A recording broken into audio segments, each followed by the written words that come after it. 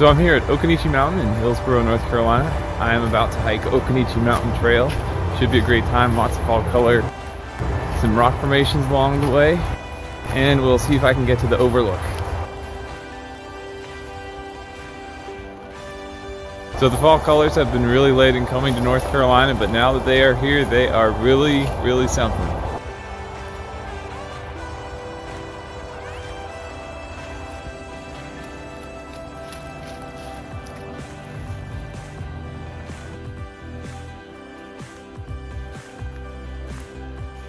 So I'm coming down a switchback on the north side of Occoneechee Mountain. There are rocks everywhere around here, so you really gotta watch your step.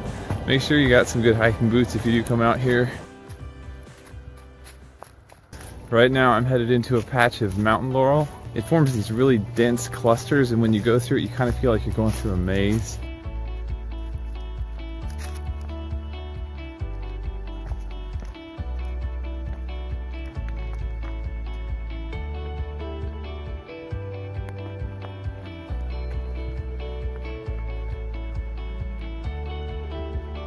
So I'm just about to come to the juncture with Overlook Trail.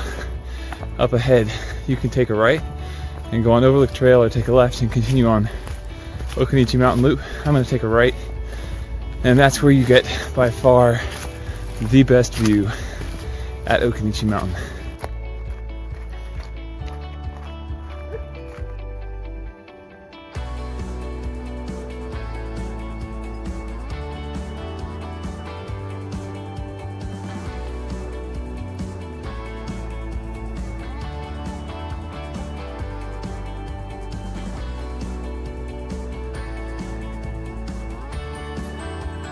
Well, I just finished up at the overlook at sunset and it was stunning.